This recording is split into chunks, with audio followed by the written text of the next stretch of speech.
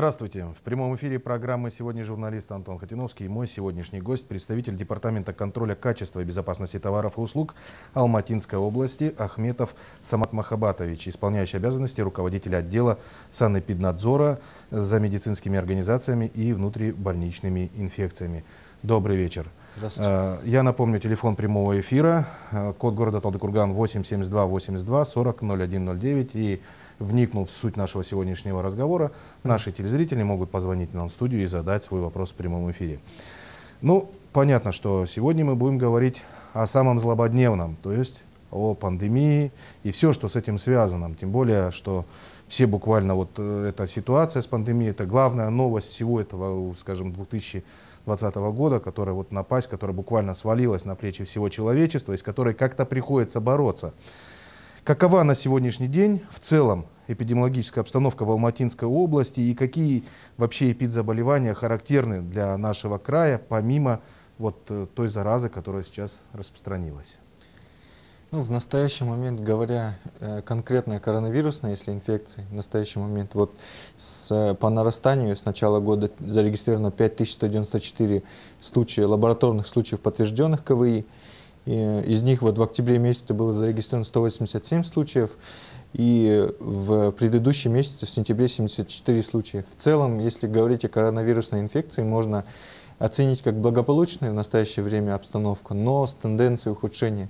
Вот если в октябре было 187, в сентябре 74, все-таки увеличивается количество. Мгм. Ну, сейчас в настоящее время как э, сезонное, сезонное обострение острых респираторных инфекций, гриппа, ОРВИ, поэтому, в общем, как бы Мгм. такая ситуация. А какие еще эпи- эпидзаболевания вот характерны, помимо вот этих Ну, вот ОРВИ, вот сезонных? Ну, сезонных, кроме ОРВИ, также эндемичные различные заболевания. Там, Э, ну, в принципе, в общем и целом, сейчас как бы нам основной упор, как бы мы на сезоны сейчас ОРВИ делаем. Мгм. Даже вот э, совместном э, мониторинговой группой выезжали, проверяли сезон готовности медицинской организации. Мы вот с 28 сентября по 14 октября проводили готовность медицинской организации именно к сезону к ОРВИ. Вот сейчас повторно даже мы проводим, сейчас ездим группой. Мгм. То есть готовитесь? Да, очень серьезно. Вот мы э, второй раз вот выехала группа, сегодня итоги подводим, поэтому мы уже как бы Ну, в целом, как картина? Наши учреждения готовы к тому, чтобы в принять? целом, в целом, да, действительно. Ну, есть, конечно, определенные какие-то недочеты, не- некоторые моменты, но в целом картина благоприятная. Мгм. Э, Скажите, пожалуйста, вот чему научила пандемия работников э, СЭС и какие проблемы она выявила в целом вот в этой отрасли санитарно-эпидемиологической? Ну, в целом, э, санитарно, чему научила, если говорить? Ну, в общем, э, именно э, с, бо- борь- с борьбой с коронавирусной инфекцией никто как бы не знал ни э, сколько дней инкубационный период, какие пути передачи, как именно действовать в очагах. Но наши специалисты круглосуточно отрабатывают каждый случай заболевания, проводится эпидемиологическое расследование. Это все нарабатывается, это все опыт для новых специалистов, которых, для тех, кто уже работал, это все как бы опыт, он очень важен в этой сфере. Ну, проблемные вопросы какие? Ну, в общем, наверное, проблемный вопрос, как э, в, в нашей службе, наверное, как и в медицинских организациях. Все это, наверное, медицинское оборудование, как мы вот в начале, когда только пик у нас пошел, когда ИВЛ аппаратов не хватало, когда изделий медицинского назначения не хватало, лекарственных средств. В общем, такие же проблемы в общем, ос- остаются. Но ну, как бы эта проблема решается на уровне республики, на уровне. На правительстве? Да, да. Ну, также вот, да.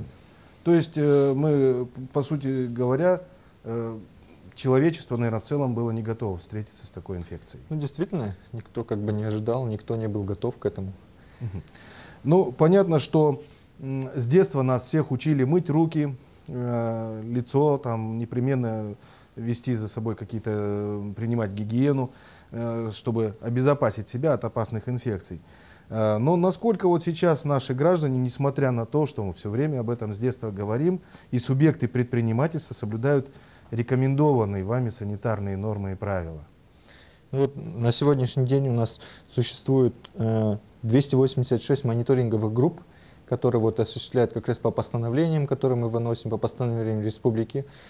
Э, по алгоритмам работы на объектах. Вот на сегодняшний момент э, всего вот возобновивших свою работу 25 тысяч объектов, и из них вот проведено 5934 количества рейдов, из них вот в 11% случаев мы выявляли нарушения и привлекали как бы к ответственности за нарушение именно там, социальной дистанции, масочного режима, э, количество антисептиков, ну вот по таким вопросам, в общем, если говорить. Угу.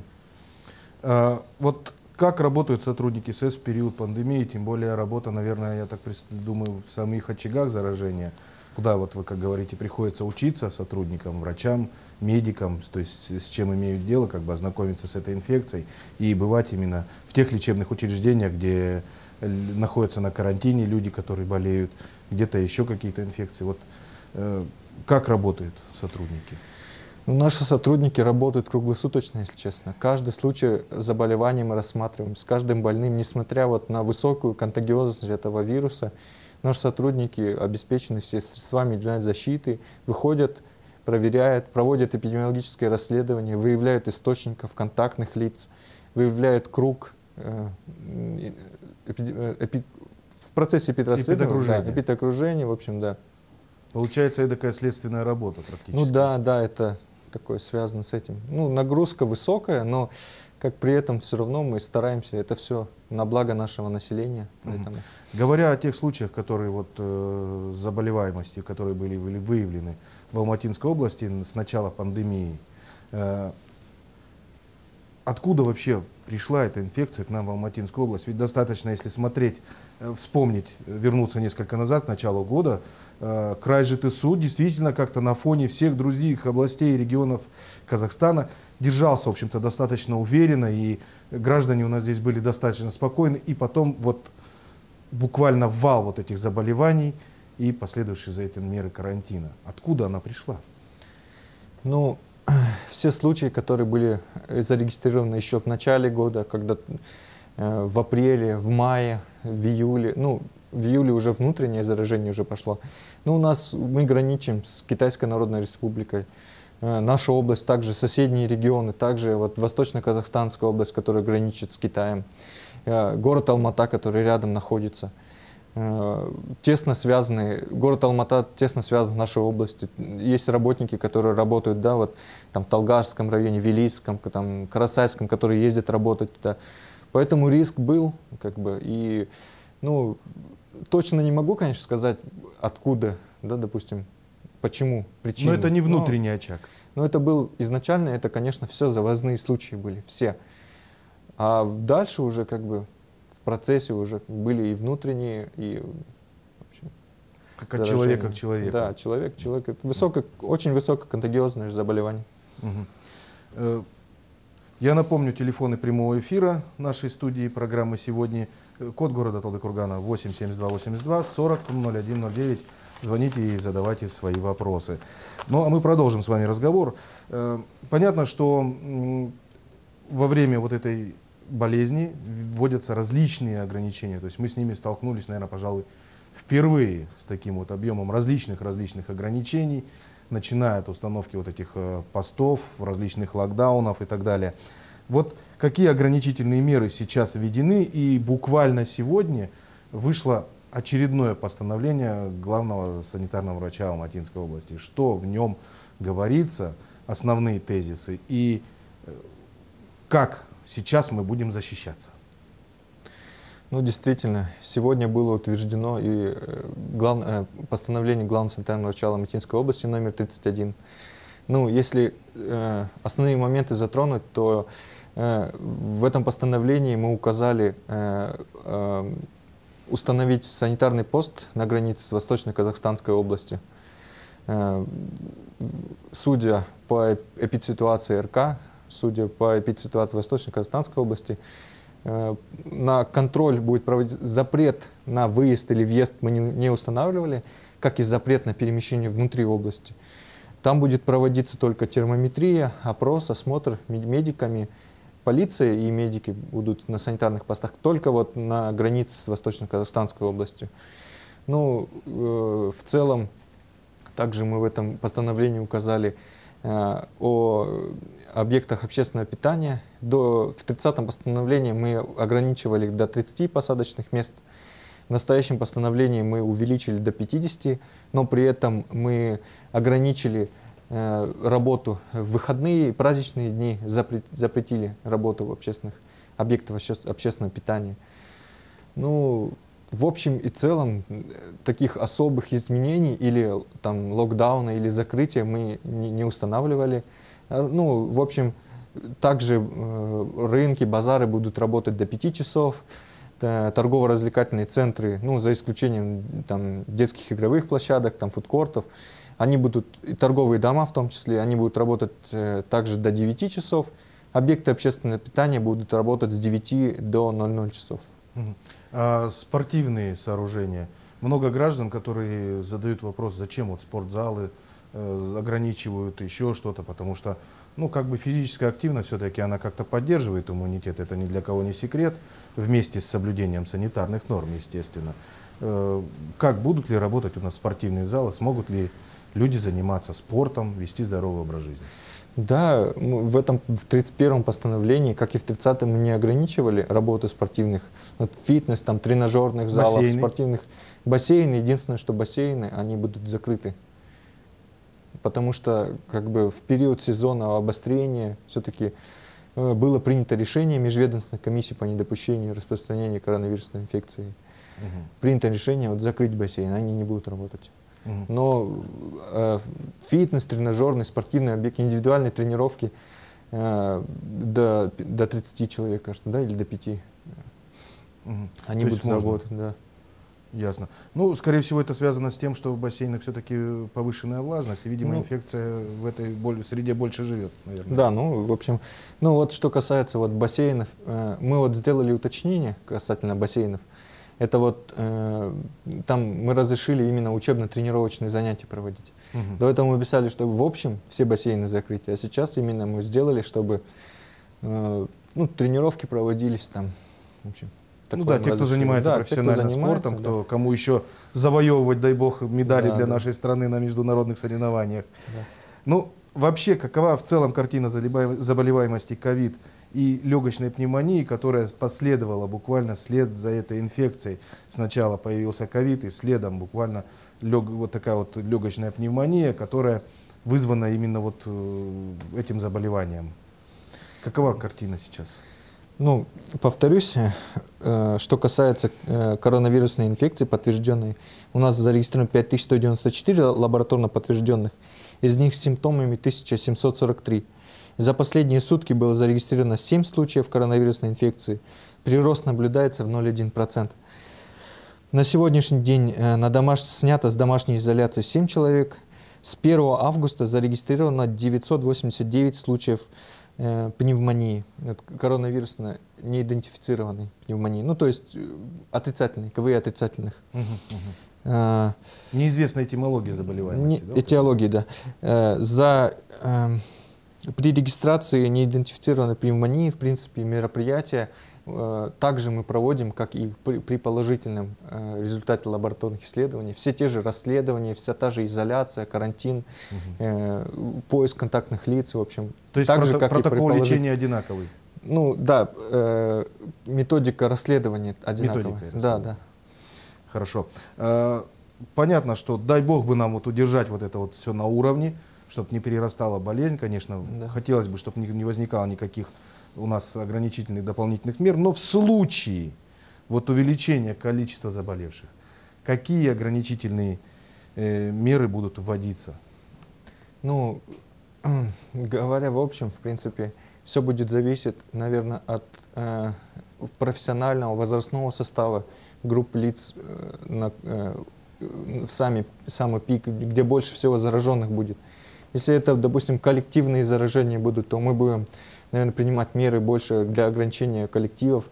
Ну вот, допустим, сейчас же установлены ограничения на то, чтобы в офисах, в государственных предприятиях, организациях на дистанционную форму переводить 50 было, сейчас 60 процентов э, сотрудников, чтобы были переведены. Ну, все зависит как бы места массового скопления людей мы, конечно, будем пытаться все-таки ограничить их работу, там, работу торговых домов, работу базаров, потому что все-таки массово люди там скапливаются. Поэтому мы будем стараться, но при этом учитывая как бы все-таки э, и предпринимателей, как бы интересы всех сторон. Интересы всех сторон мы пытаемся в каждом постановлении учитывать.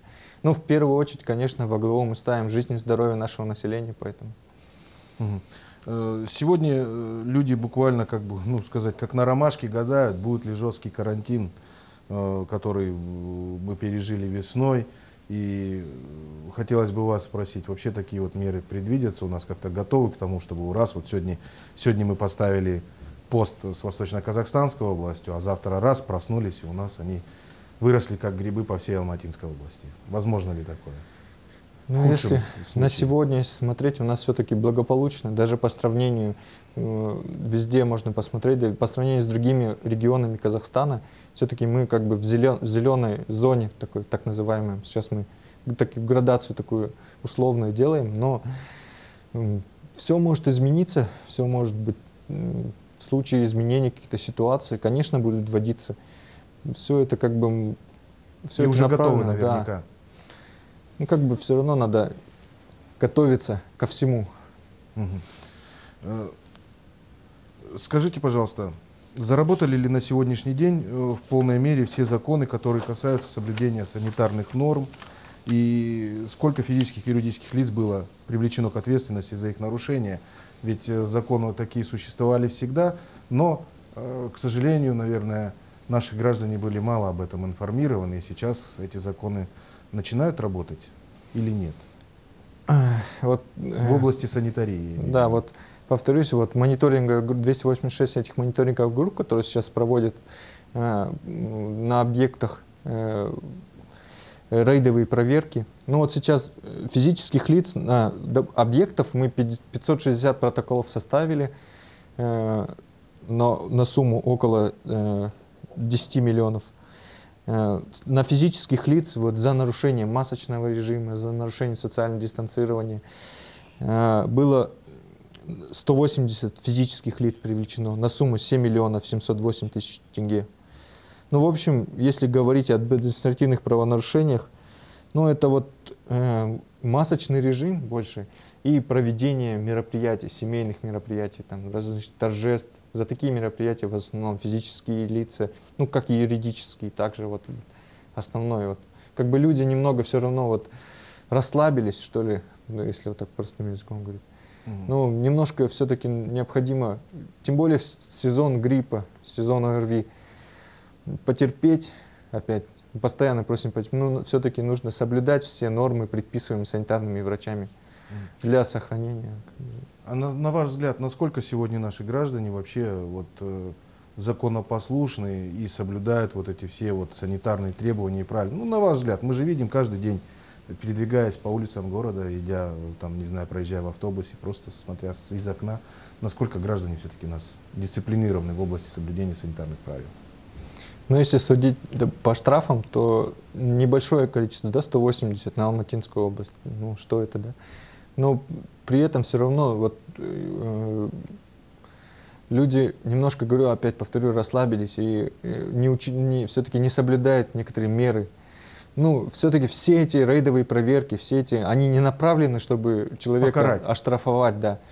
Это все направлено на профилактику, чтобы люди поняли, что действительно нужно. Ну, кто-то кто, -то, понимает, кто-то сам для себя будет маску одевать, а кто-то штраф получит и завтра оденет маску. Сегодня не одевает. Поэтому пытаемся, пытаемся разными методами воздействия. Ну, конечно, хотелось бы, хотелось бы, чтобы все люди как бы такую гражданскую позицию свою показали и, угу. в общем, cool. Э, скажите, пожалуйста, вот работают ли телефоны доверия? Понятно, что есть граждане, которые законопослушные, которые незаконопослушные. И вот, э, допустим, как в полиции, да, вот человек увидел что-то плохое, он набрал телефон 102, сообщил, здравствуйте, вот тут увидел вот такое правонарушение. Э, у вас существует такой телефон, по которому вот гражданин, я законопослушный гражданин, увидел, что, ну, скажем, собрались люди без маски, там еще где-то переполненное помещение, и я, как естественно, что переживая за свое здоровье, я должен об этом куда-то кому-то сообщить, наверное. Насколько активны у нас граждане, есть ли такие номера телефонов? Да, конечно, у нас есть департамент. Вы можете обратиться всегда по номеру 601194, код города э, Талдыкургана 87282. Всегда можно сообщить, у нас действуют действительно вот выездные, э, также можем рейдовые проверки провести, э, в, в, в департамент, также наши территориальные подразделения мы всегда можем подключить. В каждом районе у нас есть территориальные подразделения. Это 60 1194, 60 1170, 60 1194 вы можете всегда позвонить. И мы вам с радостью поможем и будем рады сообщениям как бы таких. При этом вы, наверное, будете гарантировать какую-то анонимность, потому что все-таки... Действительно, люди... нет, конечно, это... Если нам предоставят, ну, мы же не, этот, э, не орган внутренних дел, мы же не, в общем... Угу. Ну, к сожалению, да. время нашего прямого эфира подходит к своему завершению у вас хотелось, от вас хотелось бы услышать, как от специалиста в области санитарно-эпидемиологического надзора, какие меры все-таки принимать и ваши советы нашим гражданам? Что сделать для того, чтобы не стать жертвой того или иного заболевания? Ну, в первую очередь, вот я хочу сказать, что э, повториться, наверное, как и, как и везде вам говорят об этом, э, соблюдать масочный режим, везде носить маску, соблюдать социальное дистанцирование, уменьшить э, хотя бы уменьшить прямой контакт э, с близкими, с родственниками. Все-таки это здоровье э, лично ваше, лично вашей семьи и здоровье в общем нашего общества. Поменьше вот сейчас вот штрафы ходим, рейдовые проверки проводятся, торжественные мероприятия. Если вас зовут на торжественные мероприятия, все-таки необходимо как-то корректно, может быть, отказаться. Все-таки это же ваше здоровье. Никто не знает, кто на этом торжественном мероприятии может быть присутствовать. Поэтому я хотел бы обратиться к жителям нашей области и сказать, что чтобы соблюдали все меры предосторожности, предписываемые нами, нашими постановлениями главного санитарного врача области. И терпения, здоровья крепкого. Спасибо вам. А, Самат Махабатович, за интересную беседу. Я думаю, что э, здесь прозвучало сейчас в прямом эфире программы сегодня много полезного и много нужной информации. В свою очередь, я бы хотел от своего лица пожелать жителям Алматинской области действительно терпения, здоровья. Ну и, наверное, как и вы все, я тоже надеюсь на то, что ну, у нас не будет таких жестких карантинных ограничительных мер. Но опять же, при условии, если все мы будем неукоснительно соблюдать правила, те, которые нам рекомендуют э, санитарно-эпидемиологические органы. До следующих встреч в эфире телеканала ЖТСУ. До свидания.